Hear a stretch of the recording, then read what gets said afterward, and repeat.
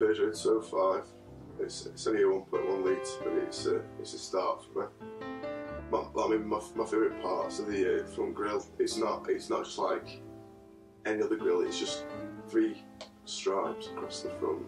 It's uh, it's got a little plastic trim on the back. That, that that, that, that's my favourite part. It's, it's it's just what makes it so fun.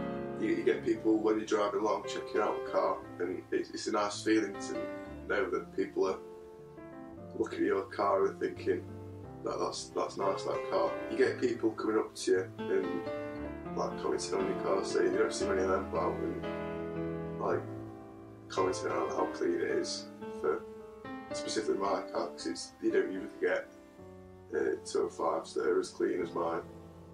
When I, I prefer classic cars because I just love the boxy shape of them. Like you don't you don't get smooth lines. It's all, it's all just boxes. I, just think that's really cool. Today, modern cars they're just they're just there for, to drive about. They're not they're not there to be loved. In my spare time, and not the weekend, I tend to go out and drive like the Peak District and just uh, not take it to the car's limit, but just have a bit of fun. It's, part of the bonding with your car. You, you know when when you're sort of going too fast around the corner and your car's going to handle it, and you sort of respect that. You, you sort of hold off a bit and you work it together as a team.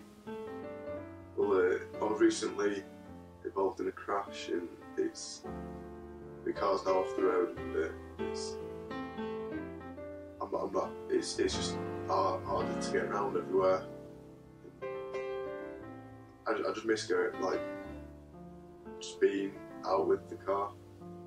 As you can probably tell, I'm just a bit annoyed that I'm, I'm not able to go out with the car and it, it's it's just it's I come home every day and see it sat on the drive and it, it's just it's, it's not a very nice sight to see.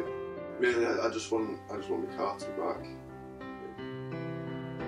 It's it's been off the road for too long now and it's like a best mate. It's it's going around enjoying yourself, like the chemistry between you. It's just part of having having a classic car and being a car enthusiast.